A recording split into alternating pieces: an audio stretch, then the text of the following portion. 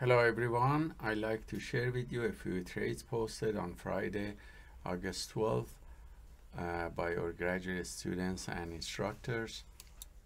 Uh, the first trade is from Ren, or global instructor and programmer uh, who has programmed a robot to detect the first four algo and as you see here in this line the entry signal came showing that the three time frames shown here uh, 1 minute 15 minute and 30 minutes are aligned for the DAX index uh, and so he comes to the uh, charts and see the pullback and also risk reward ratio which is algo 4 and 5 and entry signal and enters here.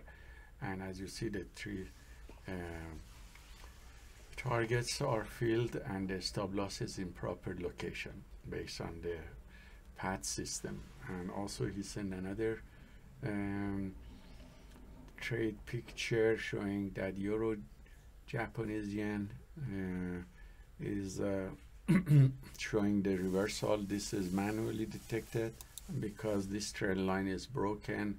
And as you see the uh, we have a lower high and the channel shows reversal. In two minute chart you see that. And that's a good area to have a reversal setup setup C which will be discussed in advanced PAAT section and is suitable for advanced traders. So he enters here and the target is in the middle of channel as shown here. And this is a risky trade so the target is usually limited to one target only one single target uh, this next picture is from Yasin showing that he detected opportunity here on Friday. There was volatile high volatility at the beginning then it broke upward and the structural channel and you see in the macro is a still uptrend.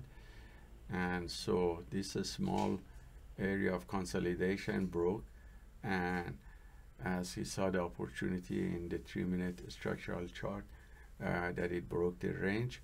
Uh, it shows in a smaller time frame as a channel as you see in one minute chart here. This is a trading channel on the trading chart with the proper structure.